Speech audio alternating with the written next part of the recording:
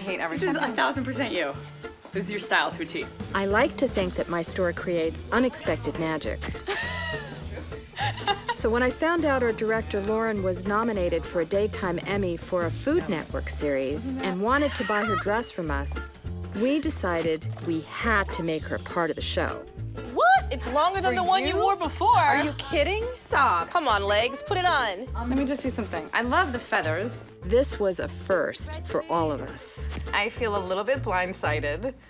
Uh, I was innocently directing a scene here, and suddenly I'm in the scene. So this wasn't planned, but frankly, there's really no other place I'd rather I'd rather look for a dress or actually buy a dress from. So I'm willing to go along for the ride. Could I wear pink fur shoes with this? I think you should wear the pink shoes. Wow. I love this. Awesome. How's it going? Lauren's friend James showed up just in time for the fun. LA Frock Looks awesome. Hey, Hi, baby. Mwah. How are you? Guys, what do you guys think? You need hair, makeup, and jewelry, and you're, you're golden. Yeah. Here's my question. Too cash? Really? Look at Doris's face. You call that cash? Is, is the end of the word casual? It's short. Like, I feel like I would wear this on a Friday night if I was feeling Really? spunky. It's a sheath dress. It's strapless. I think showing more skin is, you know, because you've got such a great figure, why not? Do you have an ostrich suit you could wear? Knowing you, you actually do. Lauren is all about feathers. I know it's hard to tell from behind the camera, but feathers seem to be her thing, and she works them like a pro. She's like a bird of prey. She's just amazing. I love this. Bill Blass, feather, simple. I feel this is the dress.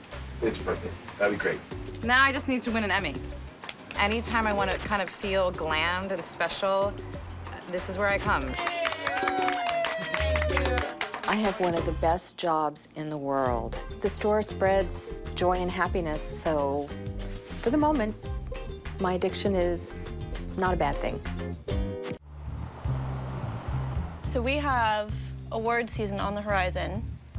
Um, I think we're pretty well stocked. Do we have any holes that we need to fill in, maybe from backstock? Always holes, but hey, wait a second. How did the Emmys go? They were good. They were good. I can't believe we didn't ask you that first thing when you walked in. It was fun. Yeah? It was fun. We didn't win, Oh. but I loved my dress. But your dress won. I wore the ostrich dress and I loved it. Oh, yay. Do you have pictures? Yeah, do you want to see? Yeah. Wow. Ha cha cha. That's it. amazing. Right? You shortened it, right? I shortened it a little bit. Wow, it looks really, oh, really good. Thank you. Yeah. I felt like a winner. You need to wear feathers every single day. Yeah, I need Every to- single Okay, let's keep rolling though. This was a nice. me. Yeah? This was a nice moment. Aw. The way we wore it. Wow. Next year, Next year. LA Frock Stars. Vintage clothing has been so much a part of my life. It's what I love. It is really me.